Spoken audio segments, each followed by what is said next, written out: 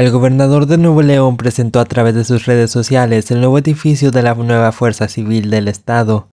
En el render se puede apreciar una torre de 16 niveles con fachada totalmente de cristal para albergar las nuevas oficinas de seguridad pública de Nuevo León.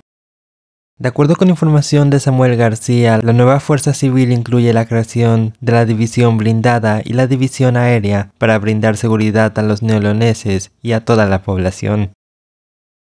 Este edificio será el mejor headquarter de México. Estará ubicado sobre Avenida Molones Prieto y será una especie de C5. Se supo que comenzará su construcción en este año 2024 como parte de los preparativos del corredor FIFA. Ha sido todo por hoy, suscríbete si te gustaría enterarte de más noticias como estas.